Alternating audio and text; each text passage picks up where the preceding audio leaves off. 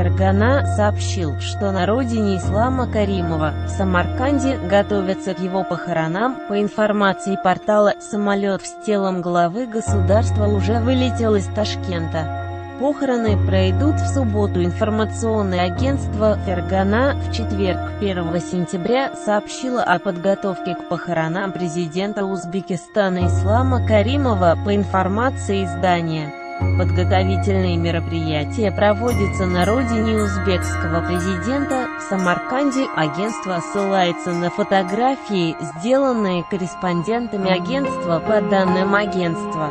О смерти Каримова будет объявлено в пятницу, 2 сентября. Похороны президента Узбекистана пройдут в субботу, 3 сентября. Его похоронят на Самаркандском кладбище где похоронены два брата и мать Ислама Каримова, сообщает Фергана. По информации агентства, вечером в четверг правительственный самолет с телом Каримова вылетел из Ташкента в Самарканд.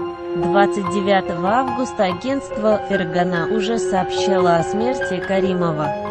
Однако в тот же день источники Интерфакса и РИА Новости в правительстве и администрации президента республики опровергли эту информацию, они сообщили, что Каримов жив и находится в больнице в стабильно тяжелом состоянии. В Кремле также сообщили, что не нашли подтверждения информации о смерти Каримова. Информация о болезни президента Узбекистана стала поступать с воскресенья, 28 августа. На следующий день младшая дочь Каримова, Лола Каримова Телеева, сообщила, что президент Узбекистана перенес инсульт, был госпитализирован и находится в тяжелом состоянии. Накануне утром, 31 августа, Лола Каримова-Телеева в своих соцсетях поблагодарила за поддержку и пожелания, которые помогают в исцелении президента Узбекистана. Она также поздравила жителей страны